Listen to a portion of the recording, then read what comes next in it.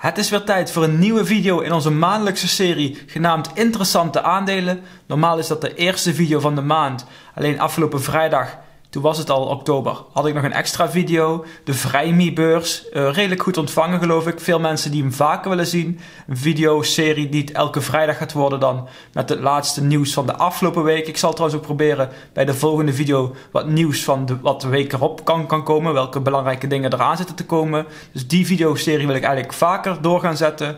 Maar deze videoserie, interessante aandelen dus. Dat is iets wat we iedere maand doen. Waarbij we gaan kijken naar twee interessante aandelen. Dit is geen aankoopadvies. Is puur dat mijn interesse is gewekt. Dit kan zijn bijvoorbeeld omdat er iets in het nieuws is geweest of omdat jullie iets hebben ingestuurd. En voordat we kijken naar de aandelen van deze maand, laten we eerst even terug gaan kijken naar de aandelen die ik vorige maand heb behandeld. Nou, ten eerste gaan we altijd kijken naar de twee beurzen, de AX en de S&P 500, om te kijken hoe hebben die het gedaan, zodat we een beetje een beter beeld kunnen krijgen en later ook het aandeel een beetje kunnen vergelijken met deze beurzen. Nou, het eerste, dus de AEX, gaan we daar naar kijken. Dan zien we de afgelopen maand een plusje staan van 2,4%. Uh, niets aparts, gewoon een redelijk normale maand geweest. Kijken we naar de S&P 500, daar zien we juist een min staan van 2,3%. Ook dat valt nog wel mee. Ik denk dat het nu even weer wat rustiger is op de beurs. Uh, misschien de laatste tijd wel wat rondom de verkiezingen. Corona nu bij Trump, dus het lijkt nog een beetje onzeker te worden. Oktober zal in ieder geval anders gaan verlopen dan september heeft gedaan. Kijken we dan naar de aandelen die ik vorige maand heb behandeld. Als eerste ASML, daar zien we een plusje van net geen 5%.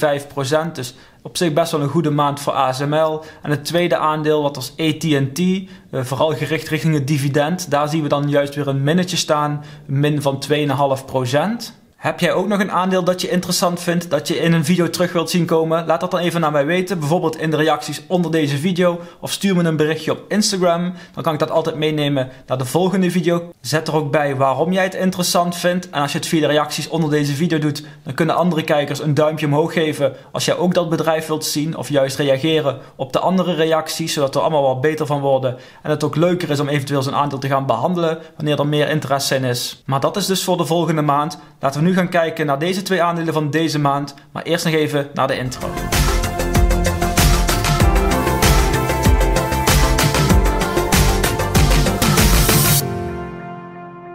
Leuk dat je kijkt naar weer een nieuwe video van een passiefinkomen.nl. Zoals gezegd, interessante aandelen en we gaan er vandaag twee behandelen. Laten we meteen beginnen met het eerste aandeel voor deze maand en dat is Galapagos met tickersymbool GLPG. Nou, nu moet je vooral weten dat bij farmaceut het altijd een beetje apart is. Een apart gedeelte van het beleggen. Je moet er echt specialisatie in hebben. Je moet er wat meer onderzoek naar doen. Zeker wanneer dit nieuw is voor je. Zal ik zeker aanraden om er altijd tijd aan te besteden. Omdat bij farmaceuten vaak anders gaat dan bij andere aandelen. Je hebt vaak jarenlang alleen maar te maken met kosten heel veel verschillende testfases in heel veel verschillende landen. En mogelijk heb je dan na een tijdje, als al die fases goed zijn doorlopen, in één keer kans op heel veel omzet. Maar ook dat is nog altijd maar de vraag. Er zit dus heel veel onzekerheid in. Dus begrijp het dat bij dit soort aandelen, hoe al die processen lopen. En hou je daar dus rekening mee, ben je bewust van het risico hier rondom. Maar dat gezegd hebbende, laten we even gaan kijken naar de grafiek van de koers van eh, Galapagos. In ieder geval de laatste vijf jaar. Nou, dan zien we eigenlijk vanaf 2015 een langzame stijging die eigenlijk doorging tot halverwege 2019. Dan schiet in één keer de koers in een paar stappen omhoog van 110 euro eerst naar uiteindelijk 250 euro. Om vervolgens in dit jaar eigenlijk met twee grote stappen juist weer terug te zakken naar ongeveer 100 euro of 120 euro op dit moment. Zoomen we even in naar het laatste jaar. Dan gaan we eigenlijk een paar datums bekijken waar we grote verschillen zien. Ten eerste 20 februari. Daar kwamen de jaarresultaten van 2019, wat overigens goede resultaten waren, die kwamen naar buiten.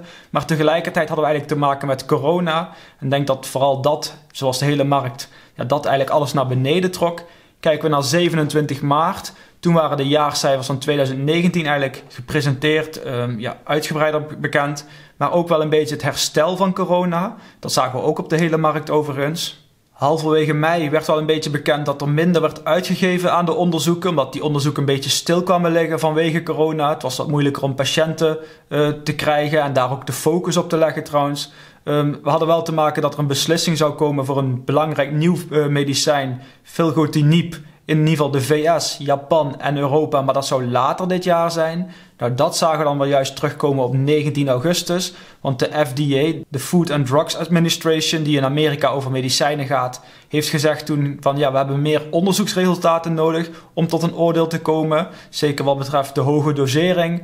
En die worden dan eigenlijk in het eerste helft van volgend jaar, van 2021, verwacht. En dat heeft er toen mee te maken gehad dat juist doordat het verder naar de toekomst werd geschoven, in ieder geval de keuring van de VS, en de VS is heel erg belangrijk voor dit soort medicijnen, daardoor ook de koers is gedaald van eerst 160 euro naar toen ongeveer 115 euro. En het laatste nieuws was vorige week, 25 september. Toen werd wel die goedkeuring vanuit Europa en Japan gegeven. Dit laat de koers wel iets stijgen, maar niet dat het het besluit van de VS in ieder geval goed maakt. Het stijgt niet zo hard. Dat heeft er dus mee te maken dat de VS heel erg belangrijk is. De VS is voor dit medicijn belangrijker dan Europa en Japan samen. En houd er ook rekening mee dat uh, in de VS er al twee andere aanbieders zijn, concurrenten op ditzelfde soort medicijn. Dus het zou ook kunnen zijn, aangezien dat Amerikaanse aanbieders zijn, dat ook, ook nog een beetje meespeelt en dat de FDA het dus een beetje probeert uit te stellen.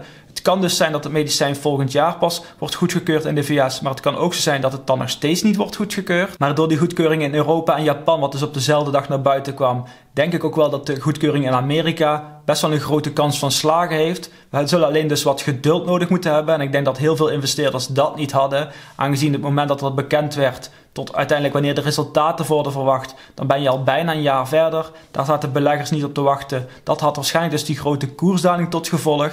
Dus heb jij het geduld wel en wil je het risico nemen, wat mijn inziens niet heel groot is, maar in ieder geval het is aanwezig, dan kun je dus wel een mooi rendement verwachten. Zeker als we zien naar het hoogtepunt van dit jaar en waar we nu staan en de mogelijkheden voor dit medicijn. Zeker omdat het in Europa en Japan is goedgekeurd, verwacht ik dat het ook in Amerika wel die kant op gaat. En natuurlijk heeft Galapagos nog wel meer medicijnen op de planning staan. Maar dit was het eerste medicijn dat zij zelf hebben gemaakt en dat het ook haalt naar de markt. Alleen dus nog niet in Amerika. Over die andere medicijnen volgt later in het, dit jaar nog meer informatie. Daar kunnen we nu nog niet zo heel veel over zeggen. Maar het ziet er in ieder geval veelbelovend uit aangezien het met dit medicijn ook lukt moeten dan weten over dit medicijn, wat dus in Amerika nog niet is goedgekeurd, maar dat daar de resultaten op zich best wel goed waren. Zeker in kleine hoeveelheden, daar ging het eigenlijk ja, ongeveer gelijk op met, uh, met concurrenten die al een medicijn hadden. Alleen juist bij een hogere dosering was dit middel effectiever. En juist voor die hoge doseringen vraagt de FDA dus naar meer onderzoeksresultaten, zodat zij een beter oordeel kunnen vellen.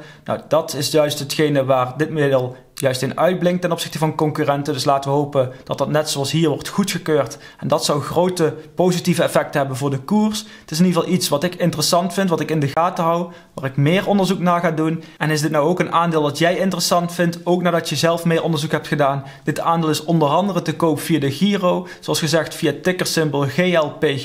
En een link naar de Giro vind je onder deze video terug. Dat is mijn favoriete broker. In ieder geval de broker waar ik het aandeel zou kopen. En voordat we verder gaan naar het volgende aandeel wil ik je vragen: vind je het een leuke, interessante video? Geef zeker even een duimpje omhoog. Dan weet ik welke onderwerpen jullie leuk vinden. Kan ik meer van dit soort video's maken? Maar je helpt ook zeker het YouTube-kanaal, want deze video wordt aan meer mensen aangeraden. En vind je het zelf een leuke, interessante video en wil je er graag meer van dit soort video's zien? Ik maak elke week twee video's die gaan over persoonlijke financiën, investeren, beleggen of passief inkomen. Klik onder deze video abonneren. Klik op het bel-icoontje om altijd weer een melding te krijgen als er weer een nieuwe video online staat. Dan is nu dus tijd voor het tweede aandeel van deze maand. En dat is het aandeel Plug Power met het tickersymbol PLUG.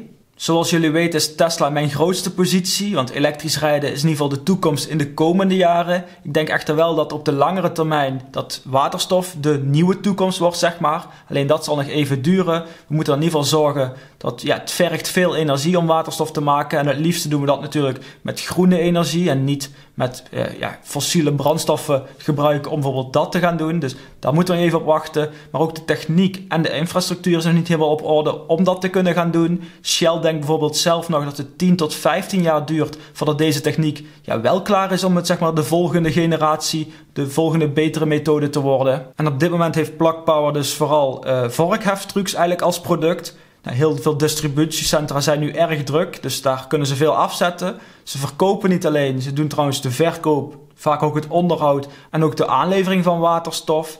Dit is bijvoorbeeld bij een grote supermarkt in Engeland hebben ze dit laatst ook gedaan, een contract afgesloten. Dat was het eerste grote contract hier in Europa, waarbij het voorheen dus vooral richting Amerika was. Dus ze krijgen ook hier voet aan wal en laten we hopen dat dat in ieder geval dan de komende jaren uit gaat breiden. Daarnaast werken ze natuurlijk aan meer waterstofproducten voor bijvoorbeeld drones, kleine UAV's, bestelbusjes, grote bussen of vrachtwagens en tenslotte ook boten en treinen. Ik denk zeker dat deze markt interessant is en dus ook dit bedrijf interessant is, maar dan niet voor de korte, maar wel juist voor de lange termijn. Dat heeft een paar redenen. Ten eerste is nu de markt eigenlijk heel erg klein en de techniek is nog niet zo ver. En de techniek die er is, wordt eigenlijk pas op een kleine schaal toegepast. Zoals gezegd, Shell denkt nog zeker 10 tot 15 jaar dat het duurt voordat deze techniek op een grote schaal wordt toegepast. En ook in Europa gaan we wel die kant op. Europa heeft ook gezegd van dit is de toekomst op de lange termijn, zeker ook wat betreft ja, de klimaatdoelen die we willen behalen. Dus ook vanuit Europa zal dit wel gesteund worden. Alleen ja, dat heeft geld nodig, tijd nodig. En op dat moment is dat eigenlijk dus niet voor de korte termijn, maar meer voor de lange termijn. En dat houdt dus ook in dat het bedrijf heel erg cash-intensief is. Ze hebben heel veel geld nodig, juist om deze producten te ontwikkelen, om deze techniek te ontwikkelen. Ja, zoals gezegd, ze staan nu pas in het begin, dus we hebben nog heel veel geld nodig om al die andere producten te ontwikkelen. Dat zien we ook terugkomen in hun resultaten. In de eerste zes maanden van dit jaar hadden ze een negatieve cashflow van min 110 miljoen dollar.